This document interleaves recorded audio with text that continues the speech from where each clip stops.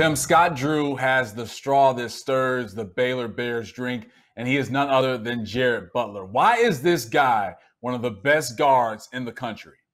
Yeah, because he has pro moves, meaning he plays with an amazing pace and he lets the defense dictate what he's going to do. Like, okay, you're going to give me this shot. I don't need much space here. Cam, when you see a guy like Jared Butler, is there anyone his game reminds you of?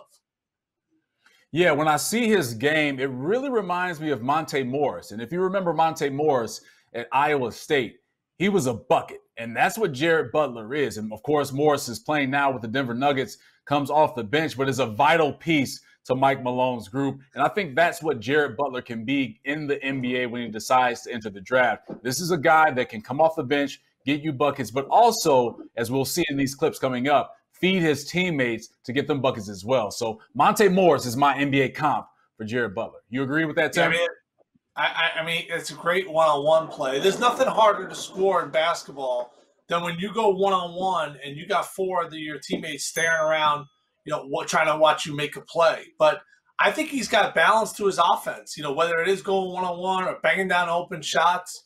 Uh, I love your comparison and this is just a, another thing that Scott Drew's squad has, just a, an arrayment of talent. You could almost start having an argument about who's their most valuable player, Baylor.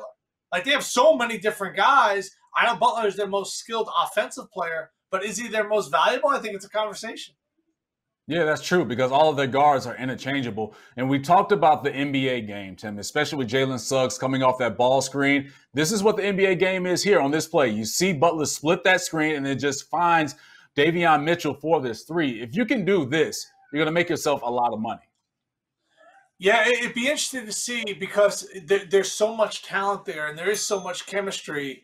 You know, how, I mean, that's just a big time sick move. Just freeze you. This is the matchup I want to have.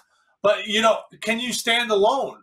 Like, or are, are, are your teammates, you, because you got to share the sugar a little bit, you know, we don't get to see you go out there and get 30 a night because your team is so talented. I mean, it's hard to get 20 points a game in college just because uh, lack of possessions and overall skill level. But this is a guy that if he was the man on a team, I could see him going out there getting 24, 25 points a night.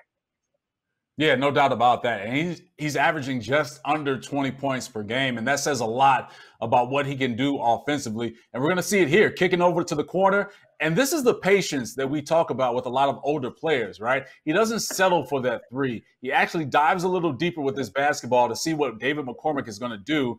And McCormick is just trying to throw his hands up, not get a foul. And Butler does the smart thing by throwing his body into him first to get that and one. So we've talked about what he can do offensively, scoring the basketball, but the underrated part of Jared Butler's game is how he assists and gets his teammates involved. And I think that's a big reason why we're going to see Baylor when the dust settles competing for that championship, hopefully against Gonzaga.